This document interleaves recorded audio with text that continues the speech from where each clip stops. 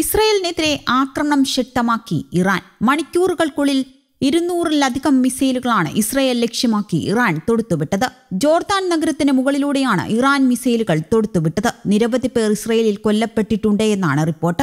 അതിനിടെ ജെറുസലേമിലെ ടെല്ലവീവിൽ വ്യോമാക്രമണ സൈറണുകൾ മുഴങ്ങിക്കൊണ്ടിരിക്കുകയാണ്. ഇസ്രയേലിന്റെ ഏറ്റവും വലിയ നഗര സാമ്പത്തിക കേന്ദ്രമായ ടെല്ലവീവ് നഗരത്തിലുടനീളം മുന്നറിയിപ്പ് സൈറണുകളും സ്ഫോടന ശബ്ദങ്ങളും കേൾക്കുന്നുണ്ട്. ജെറുസലേമിലും ടെല്ലവീവിലും റോക്കറ്റുകൾ ആക്രമണം നടക്കുന്നതിന്റെ ദൃശ്യങ്ങൾ പുറത്തും വന്നിട്ടുണ്ട്. അതേസമയം അയൺ ടോം ഉപയോഗിച്ച മിസൈലുകളെ പ്രതിരോധിക്കാൻ ഇസ്രയേലും തയ്യാറായിട്ടുണ്ട് എന്നാണ് റിപ്പോർട്ട്. ഇസ്രയേലിനെ ഭീതിയിലാഴ്ത്തി ഇറാൻ നടത്തിയ ബാലിസ്റ്റിക് മിസൈൽ ആക്രമണത്തിനിടെ ഏകദേശം ഒരു കോടി ഇസ്രയേൽ പൗരന്മാർ ബംഗറുകളിൽ അഭയം തേടിയതായി ഇസ്രയേൽ ഡിഫൻസ് ഫോഴ്സും അറിയിച്ചു. ഇസ്രയേലിന് നേരെ ഇരുന്നൂറിലധികം ബാലിസ്റ്റിക് മിസൈലുകളാണ് ചൊവ്വാഴ്ച രാത്രി ഇറാൻ തൊടുത്തുവിട്ടതെന്നും സൈന്യം അറിയിച്ചു. അമേരിക്കയുടെ സഹായത്തോടെ ഈ മിസൈലുകളിൽ അധികവും പ്രതിരോധിച്ചതായി ഇസ്രയേലും അവകാശപ്പെട്ടു. അതിനിടെ മധ്യ ഇസ്രയേലിലെ ഗതേരിയിലെ ഒരു സ്കൂൾ റോക്കറ്റ് ആക്രമണത്തിൽ തകർന്നു. റോക്കറ്റ് പതിച്ചതിന്റെ ഫോട്ടോകളും വീഡിയോകളും പുറത്തുവിട്ടു. സ്കൂൾ കെട്ടിടത്തിന് സാരമായ കേടുപാടുകൾ സംഭവിച്ചിട്ടുണ്ടെങ്കിലും ആർക്കും പരിക്കില്ലെന്ന് ഇസ്രയേൽ ഹോം ഫ്രണ്ട് കമാൻഡ് മേധാവി മേജർ ജനറൽ റാഫി മിലോ പറഞ്ഞു. വെസ്റ്റ് ബാങ്കിൽ ഒരു പലസ്തീൻ പൗരൻ കൊല്ലപ്പെടുകയും രണ്ട് ഇസ്രയേലികൾക്ക് പരിക്കേൽക്കുകയും ചെയ്തതായി ടൈംസ് ഓഫ് ഇസ്രയേൽ റിപ്പോർട്ട് ചെയ്തു.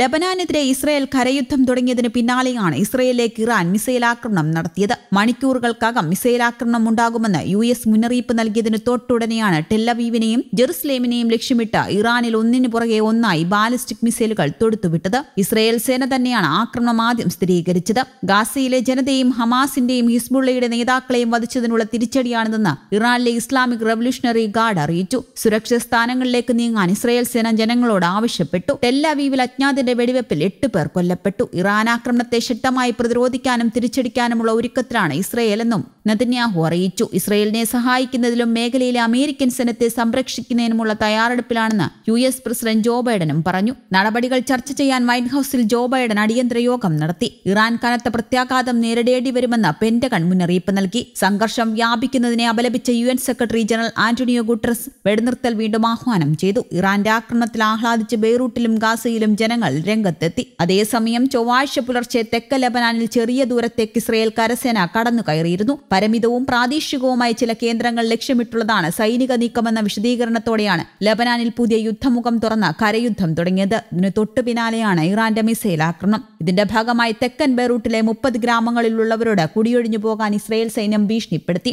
എന്നാൽ ഇസ്രയേൽ കരസേന ഇതുവരെ ലബനാൻ അതിർത്തി കടന്നിട്ടില്ലെന്നും എത്തിയാൽ നേരിട്ടുള്ള പോരാട്ടത്തിന് ഒരുക്കമാണെന്നും ഹിസ്ബുൾ ആവർത്തിച്ചു. വ്യാപക വ്യോമാക്രമണവും ഇസ്രയേൽ നടത്തി. തലസ്ഥാന നഗരമായ ബെയ്റൂട്ടിൽ നിരവധി കെട്ടിടങ്ങൾ തകർന്നു. തെക്കൻ ലബനാനെ ഐനുൽ ഹിൽവയിൽ നിരവധി പേർ തിങ്ങിപ്പാർക്കുന്ന പലസ്തീനി അഭയാർത്ഥി ക്യാമ്പിന് നേരെ ഇസ്രയേൽ ബോംബാക്രമണം നടത്തി. ഇവിടെ കെട്ടിടാവശിഷ്ടങ്ങളിൽ സ്ത്രീകളും കുട്ടികളും അടക്കം നിരവധി പേർ കുടുങ്ങിക്കിടന്നു. ഇസ്രയേൽ സൈനിക നീക്കത്തിന് തിരിച്ചടിയായി ടെല്ലാവിവിൽ ഹിസ്ബുള്ളയും ആക്രമണം നടത്തി. മൊസാദ് ആസ്ഥാനത്തിനു നേരെ ഫാദി ഫോർ റോക്കറ്റുകൾ ആക്രമണം നടത്തിയതായി ഹിസ്ബുള്ള അവകാശപ്പെട്ടു. ഇതേക്കുറിച്ച് ഇസ്രയേൽ പ്രതികരിച്ചിട്ടുമില്ല.